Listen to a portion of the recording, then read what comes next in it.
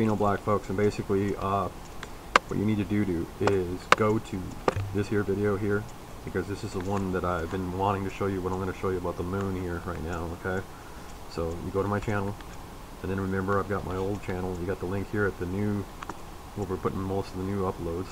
Uh, I will futuristically here, will at the old channel, I will go ahead and I'll go over there. Okay, you can always click there to go over to the old videos. You know, it's just, and then watch this one here for the facts that I'm going to show you here on these photos that have been showing that are going to show you from someone took pictures and I'll have his name and everything like that and we want to thank him took a picture of the moon recently okay? And it was on a reputable uh, space channel okay?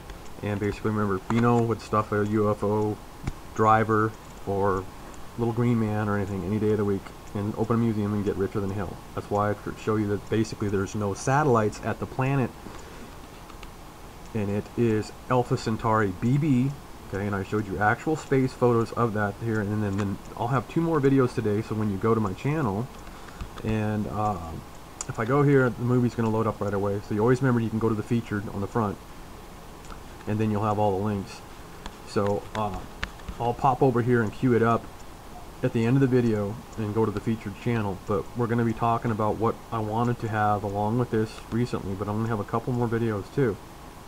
But these hot as you can see the view counts because a lot of people went wow because yeah they're real. They're all real photos and I can prove it. Okay those are all real photos.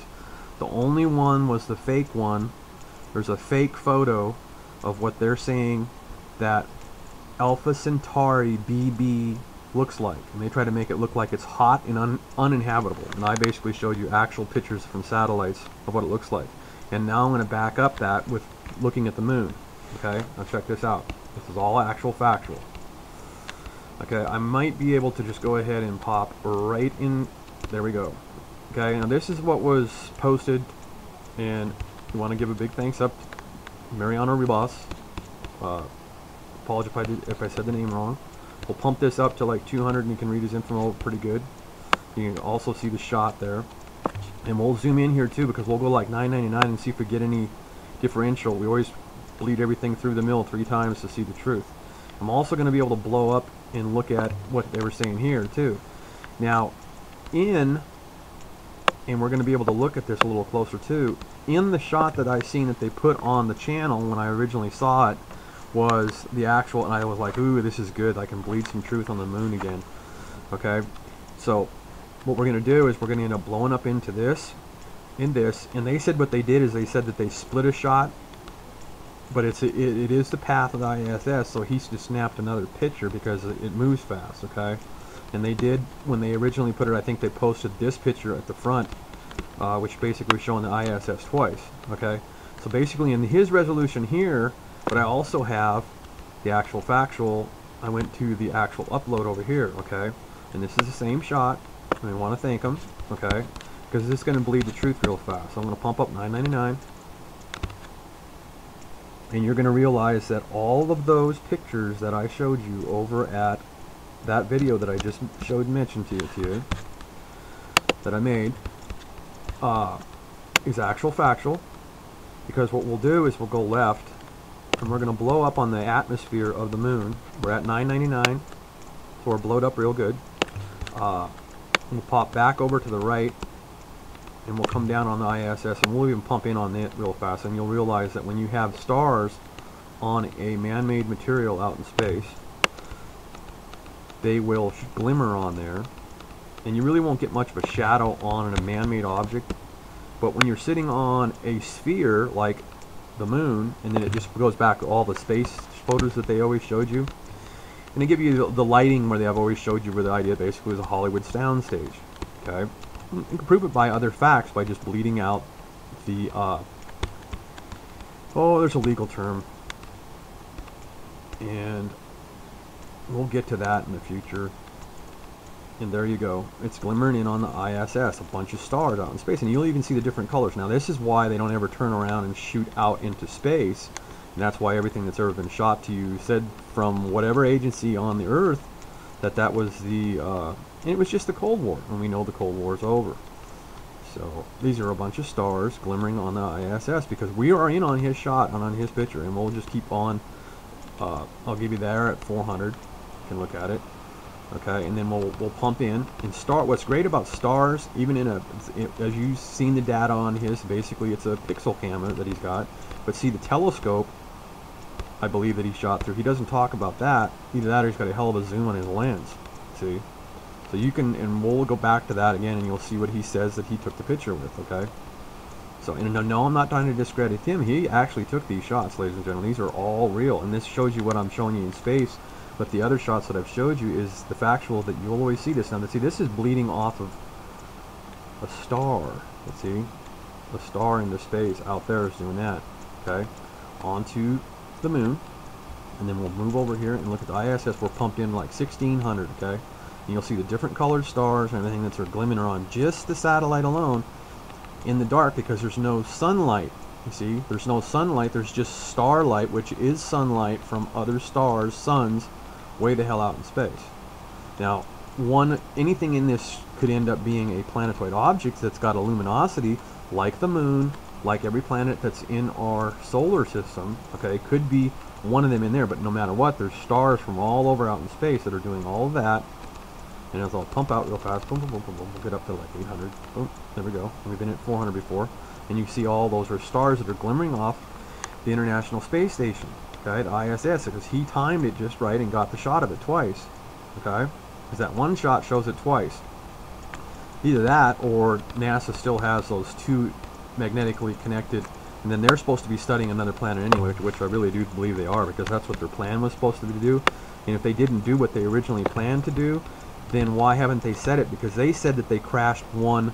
I think what they did is if they did crash any spacecraft into the moon, what they crashed into the moon was they crashed an observing satellite. An observing satellite of the two interconnected satellites.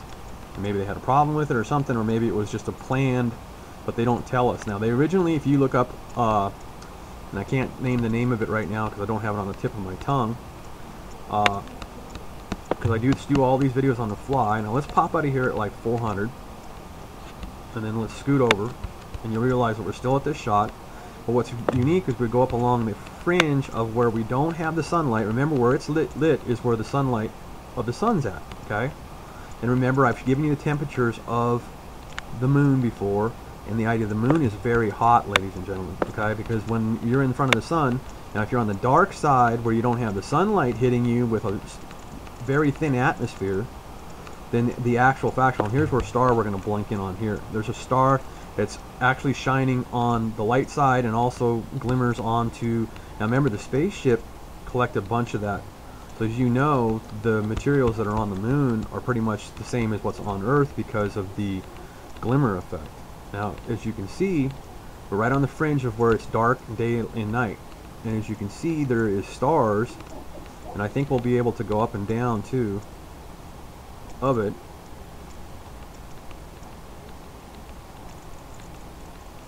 And we'll pump back out.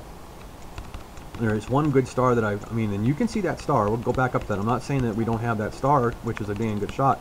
And that might be our actual star that I've seen that I had a really good shot of before. But that's some stars right on the fringe of daylight to nighttime on the moon. Okay. Now what I'm going to do is we're going to have to keep most of all this time on this video here because I'm just going to keep flowing. And we'll go left and we'll go back over and then we're going to glue in on some stars that are actually glimmering on the moon. Right on the moon.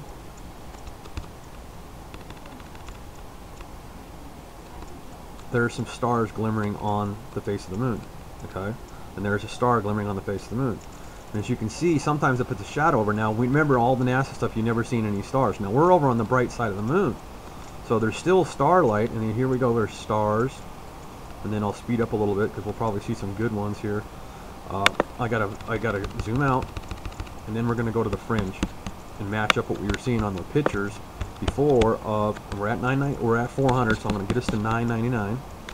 I guess that's what my mistake was here a minute ago of not being able to get that good of a shot on that one star in this in the breakup of the of the sun. Now remember the moon does not rotate, ladies and gentlemen. We're at 999. The moon doesn't rotate, and with the thin atmosphere, we're going to see what makes our atmosphere on Earth also illuminate, but see, they never really get down and show you our fringe of our atmosphere, which might be just as good as we, you know, you go by their data, what they give you, okay? So we're over at the very fringe of the moon, and you can see stars as we go down. Basically, it's starlight because it has a thin atmosphere. And I can show you, though in the future I'll be able to show you some shots from Mars too, from rover, from the rover, and you'll see stars glimmering on the, the very edge of the atmosphere of Mars from being shot from the Mars rover. Now NASA should like that, so that makes it makes everybody realize, and I've already proved that there's stars glimmering on the ground at the Mars shots from the rover. And lately the telemetry is messed up on, uh, they were going to backup on the computer and we know that they would have way more redundancy than just having A and B on one computer. So we know that they're not going to lose any contact with what, what's going on on the on the moon. I mean on Mars with the rover. So as you can see the stars here at this light, and then I'll go in and we'll try to get into some at 99. We should be able to look at these stars right here, okay, that are glimmering on the fringe of the atmosphere of the moon. Okay, remember this is all this guy's photo, and then we'll get in some more. So you'll realize even more that those pictures that I showed you in that video at the very, back up the video at the very beginning, go watch that if you didn't watch my video already, and you see there was a bunch of counts on it, and basically they have, they will always control my counters because I don't get any advertising money because I'm bleeding you the actual factual truth, okay, actual facts, okay. Now, if they would take and give you a shot close to Earth's atmosphere, you might actually see what illuminates us besides just the sun, is when they're always shoot, shooting a shot of the Earth, you see the whole Earth. You don't see a dark side of Earth when they sit back and shoot the Earth from a satellite shot. They're always showing you the bright side of Earth, and they don't show you. I mean, they do. Sometimes you will see a day into night shot, like you're seeing here from this guy's camera on the ground. But what you really don't do is you don't see them sh show the fringe of the atmosphere close enough to see whether we actually get starlight like that along that fringe there. And let me see if I can hurry up and get into this video. I'll hurry up and pop out at 125 and we'll probably do more than one video on this studying this. And yes when we were zoomed in a little while ago we were zoomed in exactly on the ISS just back up the tape okay? Because I can do this video again. We can make another video of this photo and it ain't going anywhere okay? I'm gonna try to get the the uh, Mars thing in and show you the the stars on the fringe of, of Mars that. And this is Curiosity rover and basically there's your credit for the Clay Moorhead. He does this 3D, and you can go look at all this stuff, and he's way more than one of the deals. He's downloaded a lot of the data. And, and I'll go down, and I think I can get the uh, rover in, and there's a little bit of the rover right there.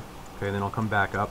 Because what I've got it is a good, I was started joking to myself, like, where are they shooting in Vegas, or wherever, they, you know, I'm just, just joking around with myself in my mind, and then I started like, hey, well, there's one of the stars or something like I could see, you know, shining above the horizon off into, uh, you know, and I figured, okay, if they got someplace out in the Middle East that they were been doing into that, and then basically I just, you know, kept on studying, kept on studying. As far as I can tell, we're on some planet somewhere. Now, I just don't doubt that it's Mars. I really do believe that they've got to Mars and did all that and not disconnecting that. But as you watch the horizon, I'm gonna I'm gonna bloom in because we're at 999, and we're gonna see starlight that along the horizon line in the daylight, okay, and then you got to study how much light that Mars gets from out in space. But if you study the horizon line, we're going to blow in on it. I'll get back over, because all you got to do is find something bright real fast, and you can zoom in, and basically we'll get it along here, and we're just going to zoom in. And there's starlight, ladies and gentlemen. It doesn't take just but a second. You get up there, we see the brightest area, and it's not street lights, they're actually shooting from, and then basically there are stars that out in space that are glimmering on the horizon that you see in the atmosphere, the thin atmosphere on Mars. Okay, and then I can pick out. We'll just I won't be able to point. You just watch the horizon line, and I'll try to just get in on one of the brightest that we can see. And there's a pretty good bright one right there, and we'll get real in, and there you go, starlight from space, from the Curiosity rover on the horizon line, okay, in the, in the thin atmosphere of Mars, which we know Mars is, at least that's what everybody keeps on telling us. Now, I'm just going to keep cruising along. My pointers can't point at nothing. I'm just cruising the horizon line. And you'll see that this is all factual, that you this is all Mars. And remember, they couldn't fake any starlights back in 66 and 70 when they were at the moon or anything like that. And I'm going to glue in, as you see, I'm going in on the, the, the brightest thing I could see on the horizon line, that star right there which I can't point no more, but you can see that there's starlight out there on the horizon line. Okay, thin atmosphere on Mars, and then it all matches up. You basically can always get the